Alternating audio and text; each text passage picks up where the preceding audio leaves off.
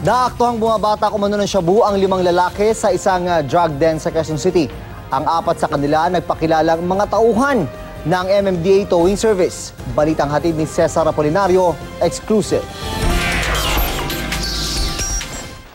Walang inaksayang oras ang mga opisyal ng barangay. Pinagwawasak nila ang bahay na gawa sa pinagtagpi-tagping sa Ilocante Compound, Barangay Commonwealth, Quezon City. Napag-alamang drug den umano ito at batakan ng mga durugista at pusher sa lugar. Ay ano ang ginagawa daw dyan? mga ganun lang yung Cebu. Nagsasabu daw. Ah, iisang tao ba yan o iba-iba? Iba-iba. Ilang oras bago nito, limang lalaki ang naaktuhan daw na bumabatak ng shabu sa bahay. Apat sa kanila ang nagpakilalang mga tauhan umano ng MMDA Towing Service. Ilang drug paraphernalia at gamit ng mga suspect ang na-recover. Hindi talaga bahay yan eh. Talagang ginawa lang pwestuhan eh. Tanging ang may-ari ng bahay ang inabot ng mga otoridad. Naabutan ko lang po sila.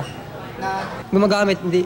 Sa bahay mo? Opo, hindi po nagpaalam sa akin yan eh. Pinampot na lang kami. Pero hindi po kami kasama doon.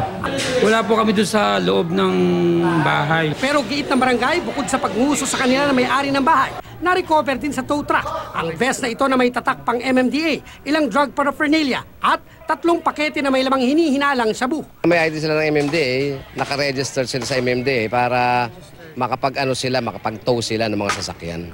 Ang MMDA paiimbestigan daw kung talagang nakarehistro sa kanila ang kumpanyang pinapasukan ng mga sospek. Sinubukan namang tawagan ng may-ari ng towing service ang tumakas nilang pahinante at driver pero hindi na raw makontak kaya tatanggalin na raw sa trabaho. Cesar Apolinario, GMA News.